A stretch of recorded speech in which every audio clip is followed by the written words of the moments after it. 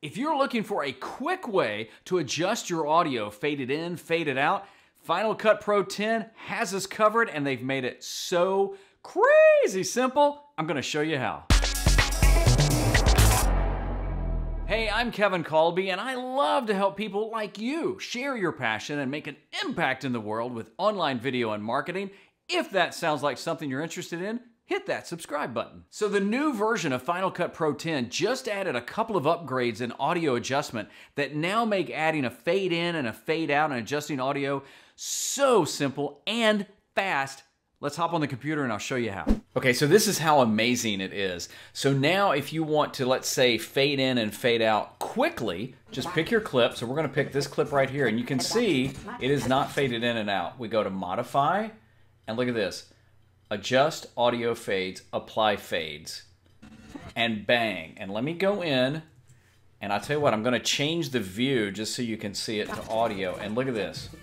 These are, they're called handles, and it immediately, so that it's exact. It's fading in. So that it's, so that, so that. And it's fading out. Now, that's one way you can do it. So let's, let's undo that, and let's go up here and uh-huh. say you just wanted to do the fade in. You can go back here, fade in. Look at that, how quickly it adds it. You can go up here, adjust, fade out. And just like that, it's automatically added that. Now, here's what's really cool. If you do this though, and let's say we're going to apply fades, now you can adjust it. You just drag the handle and you can adjust it however. This comes in really uh, uh, really convenient for certain audio or even uh, music. And now, one more extra bonus. You ready for this?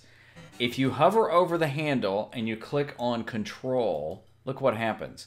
Now it gives you the option of linear, S curve, plus 3 dB or minus 3. And based on what you do, it just changes that. So if I click that, it's automatically going to adjust that. If I go back and I say click that, Notice the curve changed right here. I can go back and click it and let's say linear and it gives you more of the linear. So now you even have the option of changing the way it fades the audio and you can do it, you don't, I, I just did it on the out.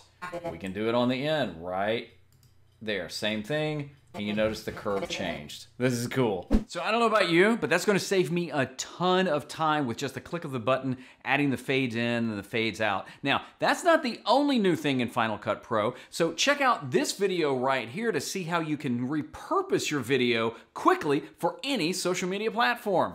See you in the next video.